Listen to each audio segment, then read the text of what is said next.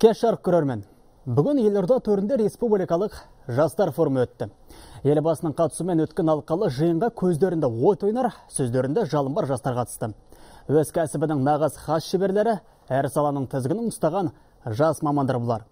Солардың бірі бүгін біздің студияда сонымен сыр өңірінен ат терлетіп келген мейманымызды таныстыруға рұқсат етіңіздер. Қызылорда облысы ішкі саясат басқармасы басшысының орынбасары еркебұлан қайырбекұлы меңлібаев еркебұлан студиямызға қош келдіңіз. Енді бүгін қазақстан республикасының тұңғыш президенті күні ғой. Мереке құтты болсын. Рахмет бірге болсын. Қалай келдіңіздер? Қалай жеттіңіздер? Қызылорда өңірінен бүгінгі форумға 35 делегат келіп қатысты. Қарапайым ауылда жұмыс жасап жүрген күрішшіден осы мемлекеттік саясатта жұмыс жасап жүрген жастар саясатының мамандар келіп бүгінгі форумға өздерінің үлестерін қосты. Еркебұлан енді мағжан жұмабаевты мен жастарға сенемін дегенің бүгінгі жастар ақтай алды ма? Қалай ойлайсыз? Әлбетте біз сеніммен айта аламыз бүгінгі жастар қай салада болмасын біздің мемлекетіміздің алдыңғы қатарда көрінуіне өздерінің үлесін қосып келе жатыр. Бүгінгі елбасының қатысуымен өткен республикалық жастар форумы да бүгін соны мен дәлелдеді деп айта аламын. Мінекей қандай бір салада болмасын спорт білім мәдениет айти технология индустрия инновация бағытындағы біздің шетелде жүріп елдің атын шығарып жүрген әрбір өзімнің замандастарым көріп мен шын мәнісінде қуандым. Бүгінгі форумда әрбір жасқа дәл осылай әсер етті деп ойлаймын. Мінекей елбасы өзінің сөзінде де мінекей осындай жастар барда біз еліміздің болашағының бұлыңғыр болмайтынына кәміл сенімдіміз деп айтқан болатын. Сондықтан да біз осы кешегі алаш арыстарын артқан сеніммен бүгінгі елбасының артқан үмітін ақтайтын жастардың корпусы қалыптасып келе жатыр деп үлкен сеніммен айтамыз. Бүгін енді елбасы қаншама салиқалы ойларын айтты ойларын жеткізді өзінің ақылын айтты жастарға. Бүгінде мемлекет тарапынан жастарға қолдау қаншалықты сезіледі? Ә, мен енді өзімнің өңіріммен салыстырып айтып өтейін. Елбасының жастарға жасаған қамқорлығының арқасында қазір төрт мыңға жуық қызылордалық жас өзінің басқа өңірлерде серпін бағдарламасы бойынша қазір білім алуда. Бұл әрбір ауылда жүрген жас жеткіншекке өзі кәсіптік білім алуына үлкен жол ашылған жол деп білеміз. Одан кейін дипломмен ауылға бағдарламасын біздің қызылордалық жиырма мыңға жуық жас осы мүмкіндікті пайдаланып отыр. Сонымен қатар жұмыспен қамту жиырма жиырма бағдарламасы бойынша қызылорда өңірінде жастар тәжірибесінен үш мыңнан астам жас қазір арнайы тәжірибеден өтті. Және де біздің жүздеген сырбойлық жастар осы жол картасы аясында өздерінің жеке кәсіптерін ашып үлкен мүмкіндіктерге қол жеткізіп отыр. Енді мәселен диплом ауылға бағдарламасын айттыңыз. Бұрын енді елде жақсы айтылатынды көп айтылатынды газет журналдарда теледидарда көп айтылып көп жазылатын бұл бағдарлама еді. Қазір аз естиміз. Бұл ә, дипломмен ауылға бағдарламасы жұмыс істеп жатыр ма сіздің өңіріңізде мәселен әрине жұмыс жасап жатыр. Өзі осы үкіметтен бекітілген регламент бойынша әр өңірге бөлінетін квота сандары бар. Сол квотаға сәйкес әрбір өңірде жастарды арнайы комиссия құжаттарын тапсырғаннан кейін өткізетін болады. Әрине алғаш басталғанда дипломмен ауылға бағдарламасымен шын мәнісінде көп жастар тартылды өте қомақты. Себебі ол енді басталған болатын. Қазір осы бағдарламаның жүзеге асып жатқанына да қазір бес жылдан астам уақыт өтті. Бұл бағдарламаға біздің діттеген мақсатына толық жетті деп айта аламыз. Әлде де бұл мүмкіндікті пайдаланып жатқан жастар өйткені шалғай елді мекендерге жетіспей жатқан мамандықтарды осы бағдарлама арқылы біз толықтырудамыз. Бұл бізге және ауылдағы халыққа қарапайым жасалған үлкен мүмкіндік деп білеміз. Түсінікті. Ал енді сіз жаңағыда айтып кеттіңіз жас кәсіпкерлерді қолдау бойынша айқын мысалдар келтіре аласыз ба? Біздің өңірде мысалға жаңақорған ауданында біздің оразай деген жас кәсіпкер жігіт бар. Кеше осы тәуелсіздіктің жиырма бес жылдығы аясында қызылорда облысы әкімінің сыр үміт сыйлығымен марапатталған болатын. Сол оразай тәуелсіздіктің құрдасы өзі жеке кәсіп ашып қазір жаңақорғаннан былғары етіктер мен және аяқ киімдерді қазір үлкен нарыққа шығарып өзі өзінің қолымен жасап шығаруда. Қазір онда жұмыс жасайтын ең қызықты жағдай бұл жерде әлеуметтік осал топтағы адамдарды яғни мүмкіндігі шектеулі жандарды тарта отырып осы өзінің кәсібін бір жолға қойып отыр. Және де өңірдегі кәсіпкерлік палатасы арқылы да және даму кәсіпкерлікті дамыту қоры арқылы да қазір мол мүмкіндіктер бар. Мысалға ауылдық жерлерге барғанда өздерінің бағдарламаға нелерін гранттарын ұсынып стартап жобаларын сол арқылы өзінің жаңағы шаруашылық яғни мал шаруашылығын өркендетіп отырған асыл тұқымды мал бағып отырған жастардың да қатары бар. Ондайлар да бар ма? Асыл тұқымды мал? Асыл тұқымды малдарды ә, жаңағы асырап әрмен қарай одан будандастырып жаңа жаңағы малдың несін шығарып ә, жаңа түрін шығарып яғни бордақыланған түрін шығарып оларды нарыққа келіп өздері сатып күн көруде. Қазір ә, бұрынғыдай емес ауылдық жерде бос жүрген жас жоқ.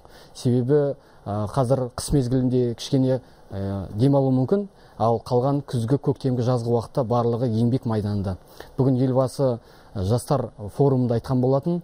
Мен осы еңбекші жастарды осы әрмен қарай осы санаттағы жастардың санын толтыруға мен шақырамын деп.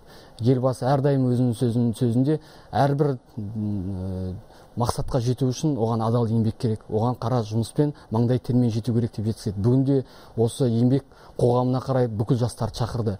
Біз жаңағы тек қана кабинеттің ішінде жарық жерде отыратынды ғана армандауымыз керек. Біз осы қазіргі күнделікті аузымызға апарып жүрген нанымыз қалай қандай еңбекпен келіп жатыр оны кімдер жасап жатыр олардың орнына қандай ертең кадрлар басады мінекей осыған жастарға үлкен үндеу тастады. Бұл әрбір жасқа үлкен үміт немесе сенім артты, артқанын осы осы форумда көруге болады. Бұл яғни айтып отқанымыз еңбек майданында қазір белсенді жұмыс жасап жүрген жастардың саны көп. Әрмен қарай да соған мол мүмкіндік ашқалы отыр. Оның бір мысалы келер жыл, жылдан бастап 2017 жылдан бастап ә, жалп, жаппай кәсіптік техникалық білім беру тегін болғалы отыр. Бұл да үлкен мүмкіндік деп ойлаймыз. Мынау табаны құмға маңдайы күнге ә, күйіп өскен бірақ талп, талпынысы бар еңбекке ынтасы бар әрбір ауылдың жасына үлкен мүмкіншілік деп ойлаймыз. Яғни бұл да біздің қазіргі жастардың арасындағы жұмыссыздықтың алдын алуға үлкен мүмкіндік беретін осы елбасының қамқорлығының аясында жүргізілетін үлкен бағдарлама деп білеміз. Бүгін осы бағдарламаны елбасы айтып өтті келер жылы нақты бастаймыз деп. Бұл өңірлердегі жастарға үлкен мүмкіндік. Еркебұлан сіз дұрыс айтасыз мен сізбенен толықтай келісемін елбасы бірнеше мәрте айтады ғой еліміздің болашағы жастардың қолында деп бекерге айтпаса керек. Мен таң қалғаным әлгінде сіз э, асыл тұқымды мал э, өсіру дедіңіз бұл өте күрделі процесс. Мен таң қалып тұрғаным сондай осындай мал шаруашылығымен айналысатын жастардың сіздерде бар ма біздің өңірде қызылорда өңірінің өзінің негізгі айналысатын көп бағыты ол ауыл шаруашылық бағыты яғни бұл мал шаруашылығы және егін шаруашылығы. Мінекей бұл екі бағытта да біздің жастардың өкілдері белсенді араласады.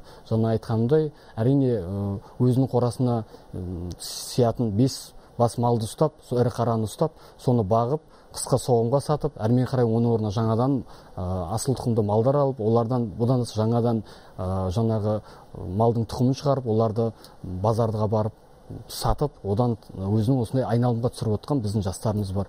Оларды осы біздің жергілікті телеарналарда республикалық телеарналарда қазір үлкен ә, насихаттап жатыр. Бұл өзге жастарға үлгі. Иә ол жай сөзде немесе ә, суретпен көрсеткеннен осы нақты ә, мысалдар әрбір жастың жүрегіне жетеді.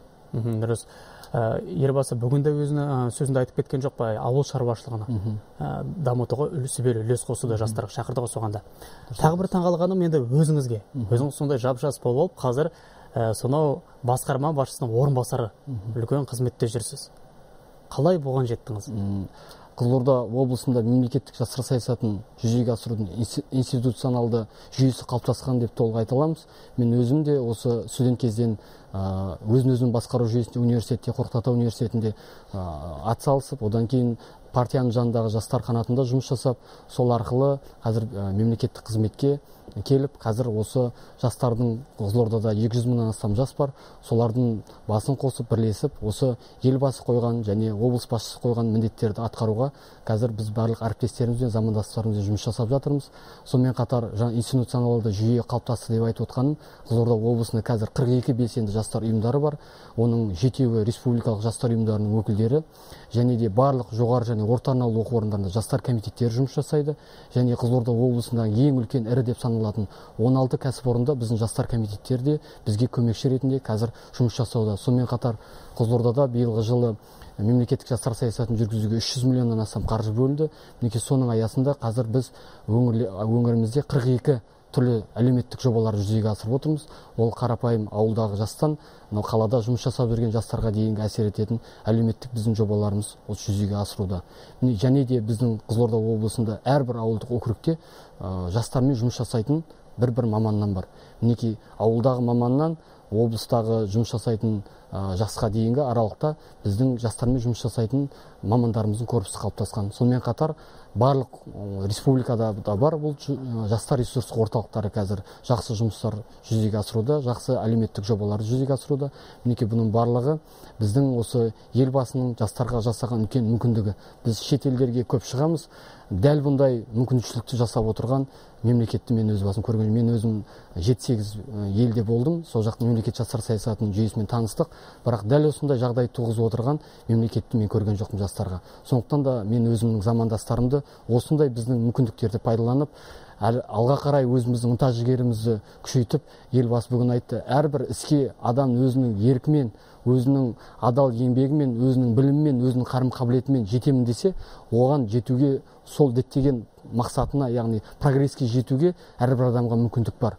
Ешқандай да кедергі жоқ. Тек тек қана таза санамен таза оймен өзінің мақсатқа жетуге тек адал еңбек ету керек. Сонда ғана біз өзіміздің кешегі елбасы бізге алдымызға қойған мәңгілік елді қалыптастыратын осы жастар. Басқа ешкім келіп біздің мемлекетімізді дамытып бермейді. Осы қазір бүгін ертең жұмыс жасап жүрген жастар әрмен қарайғы осы тәуелсіздіктің табысты эстафетасын жалғастыратын осы бізбен сіз. Сондықтан да мен осы замандастарымды осы телебағдарламаны пайдаланып елге адал еңбек етуге бүгінгі елбасының форум аясында бізге қойған мақсат мүддесін адал сенімін ақтауға барлық жастарды шақырамын. Тек қана елдің абыройын арттыруда алдыңғы қатардан көрінуге барлығын шақырамын. Дұрыс. Енді шынын айтыңызшы еркебұлан. Өзіңіз әлгінде айтып кеттім ғой жассыз жиырма алтыдан. жиырма алтыда жиырма алтыдан қазір басқарма басшысының орынбасарысыз. Әуелде осы қызметке келгенде шынын айтыңыз тек осы қызметке келген кезде сіздердің әріптестеріңіз аға буын әсіресе сіздің айтқан ұсыныстарыңызға сөздеріңізге ойларыңызға құлақ түрді ме санасты ма қалай болды? Әрине біз қоғамдық ұйымда бастап жұмыс жасаған кезде еркін өзімнің ұсыныс пікірлерімді ойларымызды біз кез келген ортада айтып жүрміз. Себебі бізді осы сөйлеуге өзіміздің ұсынысымызды ой пікірімізді жеткізуге тек проблеманы айтып қоя салмай оның шешілу жолдарын механизмдерін ұсынуға бізді үйреткен бұл пікірсайыс яғни дебат осы турнирлер yeah. біз ә, осы мемлекеттік жастар саясатына келгеннен кейін де біз ә, ешкімнің жаңағы қызметіне немесе лауазымына немесе оның түр келбетіне қарамаймыз. Бізде жастар біздің артымызда тұр. Біз олардың айтқан ұсыныстарын ауылдарда барғанда базарларда кездескенде олардың берген ұсыныстарын ойларын мәселелерін біз жеткізуіміз керек. Ол менің функционалдық міндетім. Мен соны әрмен қарайғы сол салаға қатысты өзімнің әріптестеріме немесе әкімнің өзінің жеке назарына немесе одан кейінгі орынбасарларына жеткізу менің негізгі мақсатым. Сондықтан да қандай да болмасын мәселелерді біз ә, ауызша да жазбаша да ұсыныстарымызды әрдайым беріп тұрамыз. Одан біз жасқанбаймыз. Сонда қазір қоғам ә, жастар ой мынау жас қой не айтады не біледі деген ойдан арылған дұрыс па? Ә, қазір ол ә, біз сана осыған дейін болған оны біз мойындаймыз. Жассың ғой деп ә, басты сипап ә, кезінде арқадан қаққан кезде болды. Қазір ондай заман емес. Қазір арқадан қағып тек мақтап мадақтайтын уақыт емес. Қазір біз әрқайсымыз бір бірімізге жанымыз асып көмектесіп бар нәрсені бетімізге айтып жоқ нәрсені жоқ қылып біз айтуымыз керек. Себебі дәл қазір біздің заманымыз осы. Барға қанағат жоққа шүкіршілік етіп әрмен қарай алға жылжуымыз керек. Дұрыс айтасыз еркебұлан енді өкінішке орай бізге берілген он бес минутта өз мәресіне келіп жетті. Сізге біздің студиямызға келіп сонау қызылорда өңірінен келіп. Рахмет. Салиқалы ойларыңызбен сұхбатыңызбен бөліскеніңіз үшін алғысымды айтамын. Рахмет сізге. Жұмысыңызға сәттілік. Табыс тілеймін. Рахмет. Бүгін бізде қонақта қызылорда облысы ішкі саясат басқармасы басшысының орынбасары еркебұлан қайырбекұлы меңлібаев болды.